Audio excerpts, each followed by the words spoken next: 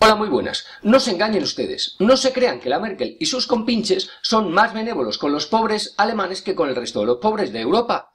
No, no, no, no. Y si no, para muestra un botón. Resulta que han editado un folleto en una localidad alemana que se llama Pinneberg, en el cual recomiendan a los pobres, a los parados, que dejen de comer carne y que mm, eviten beber agua que no sea del grifo. Esto mm, no dejaría de ser una anécdota si no fuera una idea que el propio subdirector de empleo de la nación alemana ha mm, aplaudido en su cuenta de Twitter diciendo que le parece una idea estupenda. Esto a mí me parece patético.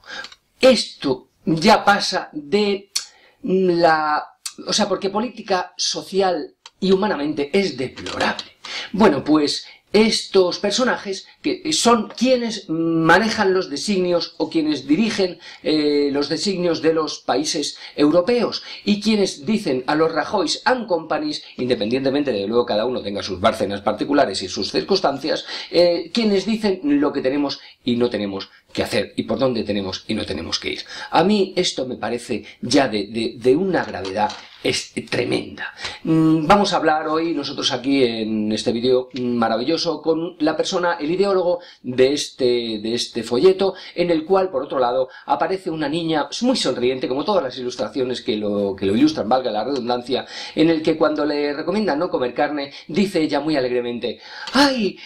¿Cuánto tiempo quería, eh, llevaba yo queriendo ser vegetariana? Bueno, vamos a hablar con el ideólogo de este folleto. Hola, muy buenas. ¿Cómo se le ocurrió a usted esta idea de este folleto? Hombre, yo siempre he sido muy ideón, de grandes ideas.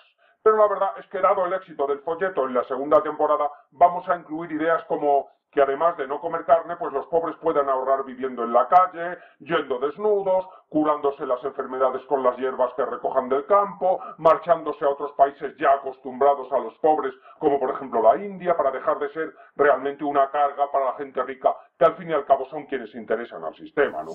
Hombre, esto parece un poco sectario, ¿no? Ya estamos exagerando, ya estamos exagerando. Ni que estuviésemos diciendo que hay que matarlos, oiga, que es que ya están sacando las cosas de su contexto. Bueno, pues nada, eh, Ale, muchísimas gracias por atendernos. Eh, no me queda más remedio ya que despedirme, aunque para decir adiós me gustaría decir unas palabras a modo de despedida. Eh, antes también quiero dejar un mensaje, y esto creo que es muy importante, a Charlize Theron. Charlize, no me contestaste, ni siquiera te dignaste a contestarme mm, al mensaje que te lancé desde aquí mismo hace más de un mes. Desde luego, mm, si vas a tener la misma actitud que tuvo Mónica Bellucci, que después de tres o cuatro invitaciones ni siquiera se dignó mandarme ni un recado, ni decirme nada absolutamente, lo lleva clarito, Mona. Que sepas que paso de ti, que te cagas. Y no quiero que esto es una amenaza. No quiero que suene amenaza.